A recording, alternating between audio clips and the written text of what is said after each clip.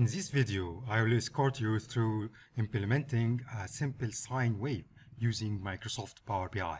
And we will make it an animated visual also. So first, we're gonna know the equations that we need and the variables to do the sine wave as you can see. For doing the sine wave, we have to identify the frequency value and the angular frequency omega and the seconds per sample dt and the uh, seconds or the cycle interval t. Then the sine equation, it will be a sine function multiplying the omega by t value. So let us do this together.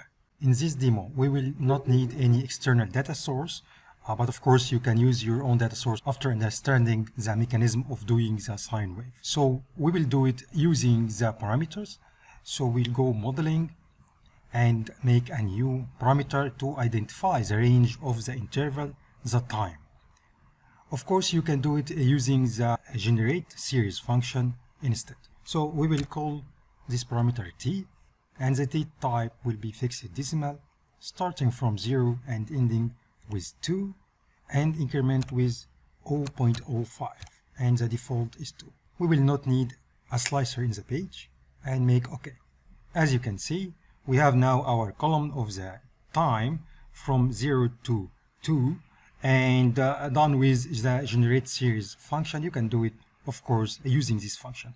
And we will go back and uh, make our new measure omega. Will be 2 multiply by the pi function which is if you can see will return uh, the value of pi 3.1415 and so on.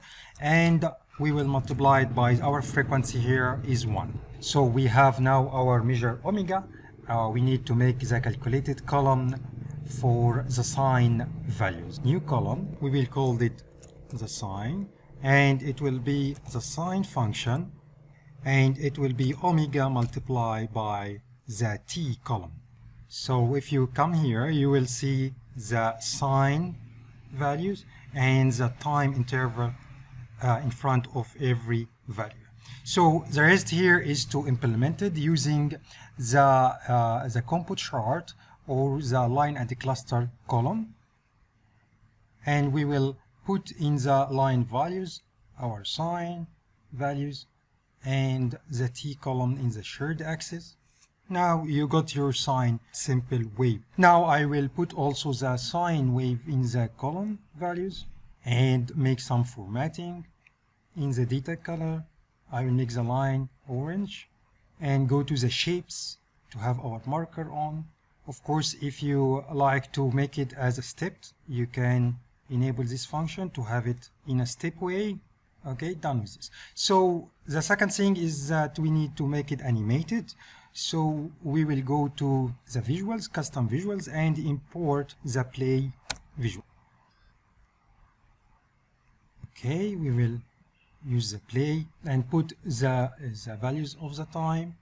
Okay but before uh, running the play animated set the effect of filtration by going to format edit interaction and highlight on the highlight icon and then run and here you go. You have your animated sine wave simple sine wave visual. So i hope this uh, will uh, help you in your uh, reports and added a new idea for you. Thank you and see you in the upcoming video